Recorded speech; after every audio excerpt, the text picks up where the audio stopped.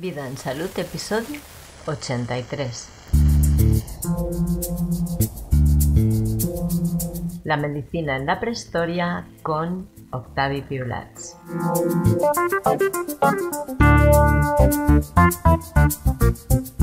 Hoy quiero presentar esta grabación que hicimos con Octavio Piulats hace ya unos días antes de que pasara todo esto de la infección pandémica, en que hablamos de la realidad en salud que había en la prehistoria según los estudios hechos por los especialistas. Y creo que es un testimonio muy revelador sobre cuál ha sido la evolución de la salud en la historia de la humanidad, que nos revela el lugar de donde partimos y el lugar que sabemos que estamos. Me parece muy adecuado compartir este audio hoy, que ya llevamos una semana de alerta máxima por contagio de un virus de la gripe. Y os invito a reflexionar sobre la información que vamos a compartir en este audio. Estás escuchando el podcast Vida en Salud, el podcast que te inspira a llevar una vida saludable y que te da los elementos que necesitas para poder ser autogestor de tu propia salud. Hola, buenos días, Diana. Hola, buenos días. Ciertamente el tema que vamos a tratar es tema de la salud la medicina en la prehistoria. digo salud porque es un concepto más amplio de la medicina. Es decir, eh, hoy nos referimos a lo que significa el arte de curar en la prehistoria. Algo muy complejo, muy difícil. Hay estudios que indican que para entender el arte de curar en la prehistoria tenemos que ver los animales, porque los animales eran los ejemplos, las guías básicamente del hombre prehistórico, tanto en los primeros homínidos como el Homo antecesor, como el neandertal o como el Homo sapiens. Es muy importante iniciar pues con el tema de los animales, porque los animales eran el ejemplo viviente en muchos casos cuando tenían problemas de salud para las personas. Por ejemplo, los animales normalmente lo que hacen es cuando se encuentran eh, enfermos o tienen alguna dolencia, recurren casi siempre a los elementos naturales, al agua, al barro, al lodo, o se ponen debajo de una catarata para restañar la sangre de las heridas. O al ayuno. O evidentemente también, como dices tú, ayunan o toman hierbas purgantes. Esto es eh, casi siempre lo que hacen tanto depredadores como herbívoros. Entonces, esto fue un ejemplo. ¿eh? Es decir, me puedes interrumpir cuando quieras. Eso fue un ejemplo importante para los hombres primitivos. Es decir, copiaron muchas de las estrategias y de las terapias que ellos veían en los animales. Eso es por un lado. Este es uno de los orígenes de las terapias, dijéramos, y de la valoración del arte de curar. Eh, luego hay un aspecto importante que es que el cambio de dieta solo podemos empezar a pensar en la salud en la prehistoria si pensamos en el tremendo cambio dietético que hubo. Es decir, pensemos que arrancamos como homínidos con una dieta parecida a los animales, es decir, respetando nuestro nicho trofológico y ecológico. O sea, cada, cada especie animal tiene asignada por la naturaleza una alimentación si transgrede esta alimentación, enferma. Esto es una ley natural y comprobada además. Cuando el, ser humano con los homínidos, si es que esa teoría es cierta, otra cosa es discutir sobre el debate del origen del ser humano. Eso es otro debate. Si, aceptamos, si aceptamos la antropología moderna, que dice que nos generamos al principio de los homínidos, nos apartamos de un tronco común, con primates, etc., en un principio éramos recolectores igual que los primates. No éramos ni siquiera carroñeros. Es decir, nos alimentábamos de frutas, frutos, raíces, vegetales. Esa era nuestra dieta. como puede tener hoy en día los chimpancés y los gorilas. Sí que es cierto que los chimpancés sabemos que de cuando en cuando cazan, pero es esporádico. La base de su alimentación son frutas, frutos y raíces. Y el gorila solo come raíces y frutas, no come nada más. Y es el más fuerte. Y es el más fuerte. Además, ¿eh? Entonces, sí, adelante, dime, dime. No, no, si tienes Además alguna... es el más fuerte. Además de que solo sí. como frutas, o solo come frutas, raíces, es el más fuerte. Es el más Para más potente a nivel físicamente. sí. Bien, em, entonces, eh, por un lado tenemos que hay un cambio dietético muy importante. Este cambio dietético es la transición de una dieta básicamente vegetariana a una dieta en la cual, por los carroñeros y por la- primera caza, empieza a introducirse la carne en grandes cantidades. Es decir, hay un paso enorme de ali- alimenticio que probablemente aparezca hace medio millón de años. No estamos seguros, no sabemos cuándo. Los mitos griegos lo recogen. El mito de Prometeo es ese mito que nos muestra exactamente el cambio de dieta. Mucha gente no sabe, desconoce, cuando mira el mito de Prometeo, piensan que el mito de Prometeo básicamente eh, marca el origen de la técnica. Es decir, el fuego, el robar el fuego de los dioses, del titán Prometeo, y entregarse este fuego a los humanos, es el inicio de la técnica.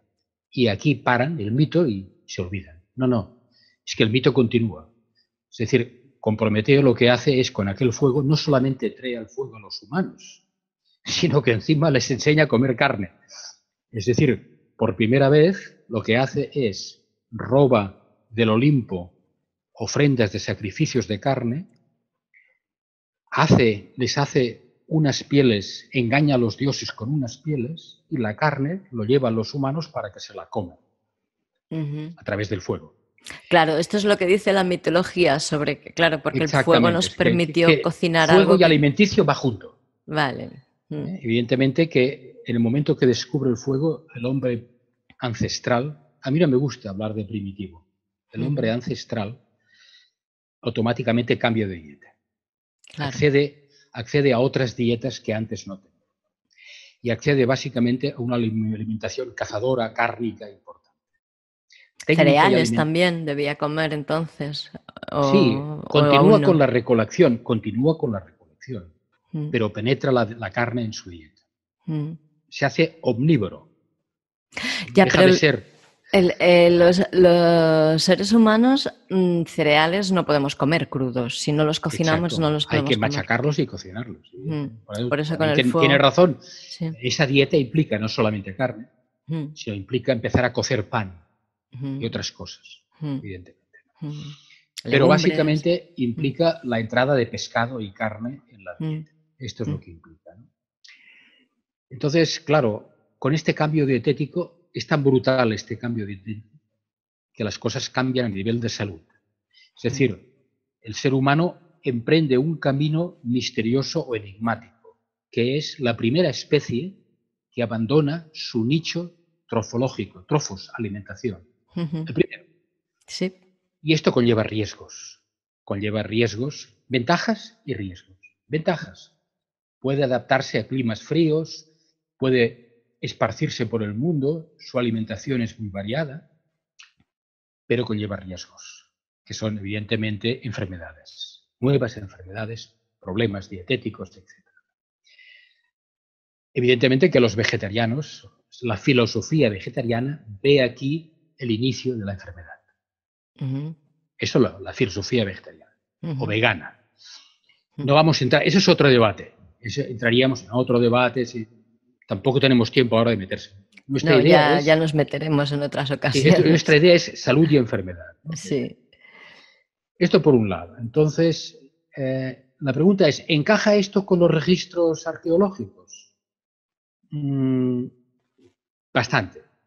Por ejemplo, en el Australopithecus, las, enfermedades que vemos en los esqueletos y en los huesos de los Australopithecus son que heridas, torceduras, accidentes, esto no son enfermedades, pero de repente tenemos algunas cosas internas. Por ejemplo, hipoplasias dentales, muchas. Mm. Por lo tanto, quiere decir que en los primeros síntomas hay problemas en los dientes importantes, los australopithecus. Todavía son homínidos. Entonces, pero, eh, estás hablando de, cuando ya ha entrado el fuego en las comunidades. En la frontera, en la frontera. Estamos hablando en la frontera. Vale. Luego entramos ya en el fuego. En el mm. fuego tenemos, em, o sea, infecciones en las mandíbulas. Mm. Tenemos el cráneo de Broken Hill, que es fundamental, que ya, ya aparecen los neandertales y los sapiens. Este cráneo es una enfermedad ya mortal. Mm. Y la mandíbula de Canham, que es un cáncer en la mandíbula. Las primeras enfermedades mortales las tenemos, repito, en el cráneo de Broken Hill, de Estados Unidos, y en la, mandíbula de Canham, creo que en Crimea. Mm. Y aquí ya tenemos enfermedades serias, mortales. Un cáncer, unas grandes infecciones, tumores. En el momento en que ya ha entrado el fuego. ya hemos entrado en una dieta nueva. Ya hemos entrado en una dieta. En una dieta El problema que tenemos es que la falta de registros. Son hipótesis, falta de registros. Luego tenemos al investigador ruso Rochlin, mm. que dice que en esta época, cuando ya ha cambiado la dieta, de súbito, eh, él ha investigado esqueletos, no, no solo esqueletos, cuerpos, cuerpos congelados. Por ejemplo, el cuerpo de Sarkel, el de Sarkel, en el sur de, de Rusia, está congelado. Y esto le permite ver, por ejemplo, en este cuerpo congelado, que hay antiguas heridas de luchas, de animales de caza, y que de repente este, este, estas partes congeladas del cuerpo, con heridas, no tienen ninguna infección posterior. O por ejemplo, el famoso dedo, hay un famoso dedo también congelado, y también hay un dedo de un esqueleto en Crimea. Y estos, estos hallazgos en Crimea y estos esqueletos congelados y esos cuerpos congelados apuntan casi siempre a que no hay nunca en las heridas, no hay nunca, o en los cortes, no hay infecciones posteriores. Entonces, Rochling viene a decir eh, que seguramente debe haber un conocimiento botánico importante del chamán o de los hombres medicina que sugiere Rochling que elimine las infecciones posibles que hayan existido. O sea, la hipótesis de Rochlin es de que hay un chamanismo importante ya en la época paleolítica, ya en el paleolítico, con lo cual gran parte de las heridas de caza y también infecciones que pueden producirse por meras enfermedades internas pueden ser combatidos por la botánica. Botánica que a su vez, yo añadiría, ha sido copiada de los animales, porque la elección de las hierbas de los animales es el primer ejemplo que lleva en el Paleolítico a los humanos a recolectar hierbas, hierbas curativas, por decirlo así. Bien, ¿qué viene, qué viene a decirnos todo esto? Todos esos hallazgos del Paleolítico. Antes de meternos en resúmenes, conclusiones, hay otro aspecto a tener en cuenta, ¿no? Que es, eh, no sé si tú has visto la película Blade Runner. Sí. Bien.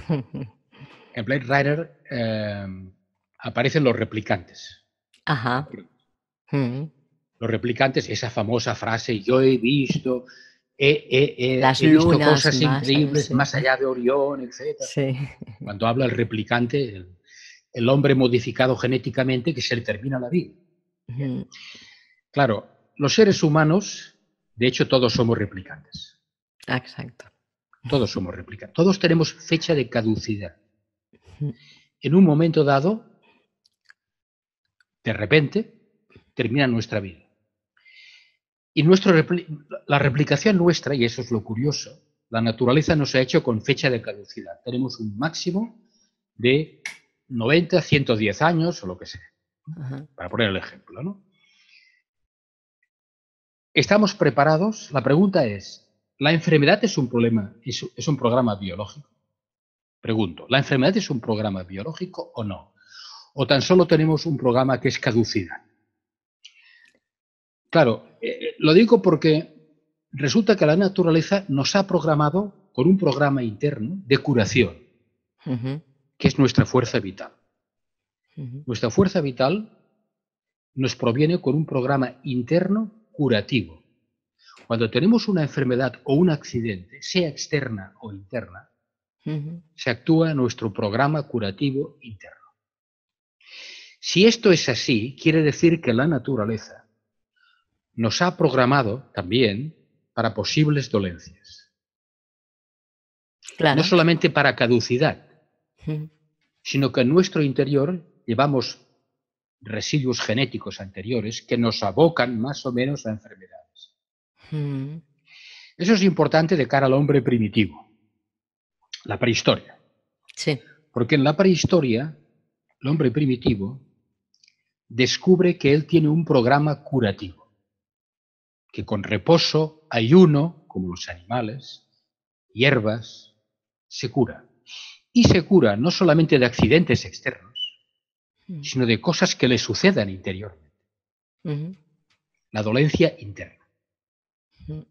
En algún momento él tiene que descubrir que tiene un programa curativo. Evidentemente lo descubrió porque mm, la evolución nos lo indica. El chamán, es que yo voy, al médico, voy al médico. Ajá, vale. El chamán, el médico, el origen del chamanismo, que es el origen de la medicina, ahí está el origen de la medicina, sí. ¿eh? Descubre con sorpresa que igual que los animales, nosotros tenemos un programa curativo, tanto por accidentes como cosas internas. Fíjate bien que él descubre una cosa que nosotros todavía no hemos descubierto.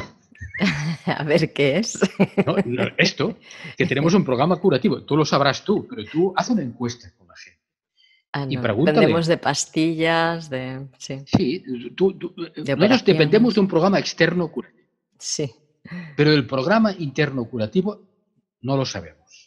En general, no. Sí. En general. Sí. Tú lo sabes, yo lo sé, etcétera, pero... Nuestros oyentes seguramente también lo saben. Evidentemente, pero inconscientemente el 90% de la población no lo sabe. Sí. ¿Me aceptas esto? Lo acepto. Entonces, cuando se orija, hemos hablado del origen de la medicina. Vamos a hacer el resumen, antes de entrar en el médico, y con eso terminamos, sí. hacemos el resumen. El resumen es el enorme cambio dietético ha habido en el entre, el, paleolítico superior y el inferior, este tremendo cambio dietético, que es la aparición del fuego y la introducción de la carne y de lo cocido y de, la gastronomía, va unido al origen de la enfermedad interna, no de la externa, no de los accidentes, sino la interna. Y esto es un tema para debate. Si realmente dejar el vegetarianismo y entrar en el omnivorismo, si hacer este paso, ¿qué sucede? Es un tema muy serio que hay que hablar. Los registros biológicos indican que las enfermedades serias las empezamos a ver cuando hemos dado el paso. Antes no parece que hayan grandes enfermedades. Tenemos el problema de los registros, claro, que no tenemos todos los registros. Bien, por otro lado, el origen del médico, el origen del médico está en el chamanismo. El chamán es el primer médico, el hombre medicina. Y el hombre medicina da origen a la terapia viendo los animales y recogiendo ideas de los animales. Y tiene una terapia botánica importante ya, porque según los registros que vemos de Rochlin, de ese investigador ruso, nos encontramos que tiene conocimientos botánicos importantes para eliminar las enfermedades infecciosas. Hmm. Entonces, nos encontramos con esa sorpresa. Y finalmente, vemos que en el origen de la medicina, el chamán, que es un tema para hablar en el futuro, que es el chamanismo, nos encontramos con la sorpresa que este chamán ha conocido sus terapias y su idea de la enfermedad, su teoría de la enfermedad, de ver los animales y de compararlo con él adopta métodos animales, ayuno, eh, toma de hierbas purgativas, eh, bañarse en los ríos, ponerse el lodo en la piel. Exponerse al sol. Ponerse al sol, los baños solares que toman los animales, mm. en invierno y en verano también a veces. Mm. Entonces, esta, esta es la sorpresa del cine. Entonces, como resumen, podemos decir había salud. En la, prehistoria, ¿qué, decimos de la prehistoria en cuanto a la salud y la enfermedad? Hombre, vemos que en la prehistoria, el problema de la prehistoria es que era un medio muy agresivo. Mm. Habían unos animales tremendos, como el ismilidón, el diente de, sables de tigre. Tenía los dientes, tenía el oso de las cavernas. El oso de las cavernas hace dos como el grizzly actual. Es gigantesco. El velociraptor famoso de Jurassic Park. Sí, exacto, exacto. Había un animal, me parece que es el, el teclen. El teclen es un ave que era prehistórica, que era brutal. Un picotazo te mataba. Claro. Eh, había lobo gigante. Mm. había unos seres, había el león de las cavernas, el mamut lanudo, el rinoceronte lanudo en Europa, había, lo sabemos por Lascaux, por las pinturas de Lascaux, las pinturas rupestres, había unos animales impresionantes que no tenían miedo al ser humano. Nunca habían visto al hombre, no tenían miedo. Eran agresivos. Es decir, accidentes... Éramos comida para ellos. Totalmente. Expresas. Cuando matabas tú, cuando el ser humano mataba a un herbívoro, un ciervo, tenía que correr para llevarse. Sí. Porque si si se despistaba 10 minutos, aparecía ya el, depredador. Y ante el depredador hacemos como lo que hacen hoy los guepardos, marcharse. ¿Cómo ibas a enfrentarte con, lanzas, porras y flechas a un tigre de dientes de sable? Un animal que está preparado biológicamente para matar. Para matar directamente. Entonces, en cuanto a la salud interna, tenían sus medios, habían pocas enfermedades antes del cambio y después del cambio habían enfermedades, pero tenían sus remedios. El problema es que había una corta longevidad, 30, 40 años, precisamente debido al medio, a la dureza climática del medio y a la dureza climática de terremotos y cambios, volcanes, luego la agresividad de los animales y el peligro que entrañaba las casas. Este sería un poco el resumen, dijéramos, de la prehistoria. Claro. Yo creo que hasta aquí es donde podemos llegar hoy, hablando de la prehistoria, porque luego tendríamos que entrar o bien en el chamanismo, pero claro, el chamanismo, con el chamanismo hay una cosa curiosa, que es que esa es mi hipótesis, ¿eh? esa es mi hipótesis. Para terminar, no solamente los animales abren los ojos a los humanos sobre lo que es la enfermedad y lo que son los remedios, yo empiezo a pensar que también la religión, fíjate bien la tesis, ¿eh? la religión nos lo enseñan los animales. Ajá. Es decir, los actos religiosos, el hombre primitivo, por lo menos se da cuenta también en gran parte de que él los comparte con una serie de animales, no todos, los superiores. Y ahí está el elefante. El elefante es la clave para empezar a pensar qué significaba lo sagrado para el hombre primitivo. Sorprendente, ¿eh? pero te digo porque siempre se habla de que el, origen de lo sagrado es un misticismo de religión. No, no, cuidado. Una paloma a lo mejor. Sí, no, yo no niego el misticismo, pero sí, sí digo que el misticismo está ahí en el elefante en el elefante encontramos un misticismo. En la India lo tienen como es Vishnu, ¿no? El elefante es el dios. Eh, una de las formas, una de las formas. Ganesha, Ganesha. Ajá. A Ganesh, es verdad, Ganesh. Eh, quiero decirte que cualquier intento que haga la antropología moderna por diferenciarnos tajantemente de los elefantes, perdona, de los animales superiores, superiores, está destinado al fracaso. No hay forma de diferenciarnos de los animales. Somos animales. Hay grados, hay grados, hay grados de diferenciación. Sí. Pero no cortes. Lo digo para si un día entramos en el debate vegano y todo esto. Si un día llevamos, si un día entramos en el debate del mundo animal y todo esto. sí, entraremos. Pero no solamente la salud y la enfermedad, sino que los mismos comportamientos religiosos, también en los animales, los encontramos. Bien, eso sería el final del debate. De, no sé si, si hay que decir algo más y te contesto. Adelante. ¿Tienes alguna pregunta respecto a la salud y la enfermedad de la prehistoria? Em, no, no, yo la información que yo tenía también eh, iba en la misma línea. O sea que en general en la prehistoria había salud, lo que es salud biológica. La biológica. Y que, sí, y que básicamente los problemas que había mm, en cuanto a, la salud eran accidentes, eh, traumatismos y, muertes. Y, supervivencia.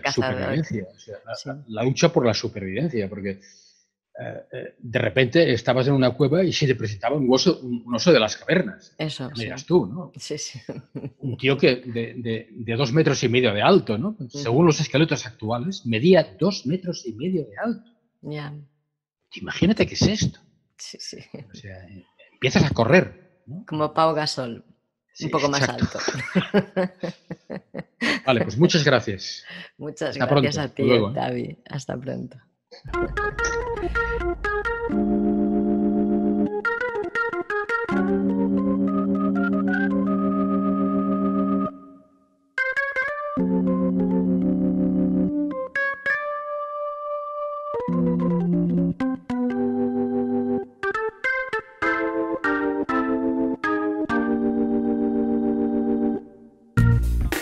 Muchas gracias por escucharnos. Gracias por participar, por tus comentarios, por tus sugerencias, por tus likes, por compartir los episodios del podcast. Muchas gracias por darle sentido a Vida en Salud. Con estas acciones tú ayudas a que el podcast llegue a todas las personas que lo puedan necesitar.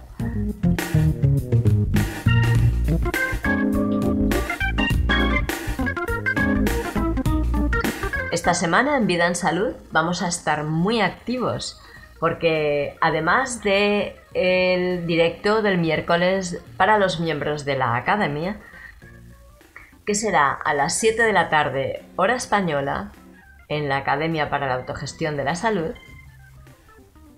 el jueves también vamos a tener un episodio en directo y en abierto para tratar el tema del coronavirus con por lo menos 11 personas de diferentes ámbitos sociales y económicos que van a dar su punto de vista sobre lo que estamos viviendo estos días, sobre el futuro que nos depara después de haber vivido esto y sobre cuáles son las lecciones que deberíamos anotarnos como humanidad y como colectivo y a nivel individual después de la experiencia que hemos vivido.